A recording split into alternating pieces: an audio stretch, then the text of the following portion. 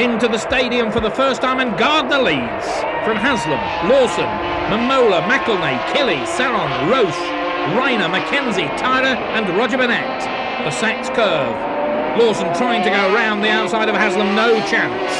But McElnea holds off a challenge from Chili. Gardner and Lawson desperate to pass Haslam, no change in the front runners.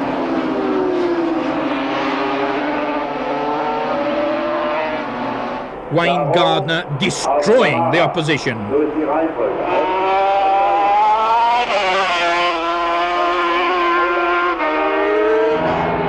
Eddie Lawson must be wondering what he's got to do to peg back Wayne Gardner. Haslam and Sarron trying hard.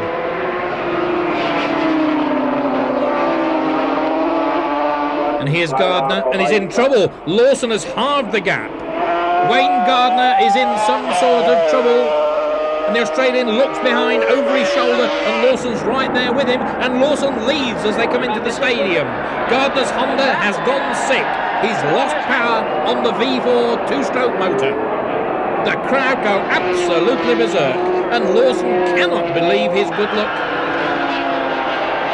The race seemed out of his grasp, but suddenly at the halfway stage, Gardner's machine has gone sick.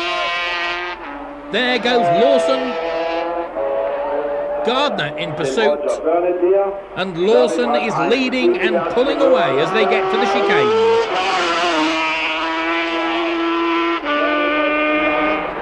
Ron outbreaks Christian Sarron to take second berth.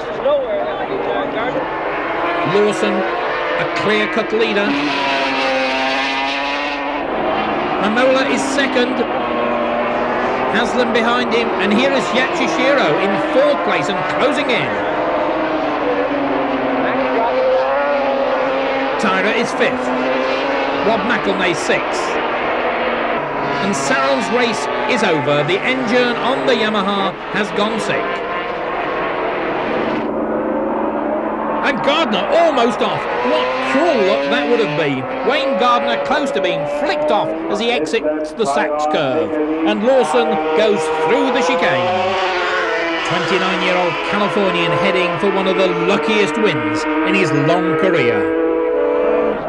And Lawson wins, the checkered flag goes out, victory by more than 13 seconds. And here's Mamola with Haslam right on his tail, it's going to be close. Two tail enders ahead of Mamola, and Randy goes through the middle of them. And his bravery pays off. Randy Mamola takes second place. Ron Haslam third home. Tadahiko Taira is fourth. Rob McElnea fifth.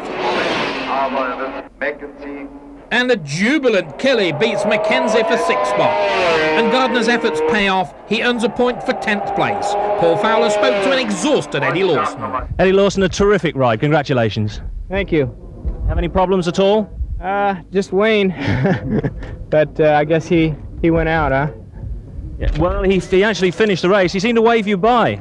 Yeah, he was waving to, I think, for me to stay behind him, but uh, I don't think we wanted to do that. And what about the bike? Uh, I ran pretty good. It, uh, you know, as well as we expected. Uh, Wayne's bike was really running hard and, and tough. He would have finished. And those Michelin tyres once more on uh, top form. Oh, yeah. yeah, they're working great.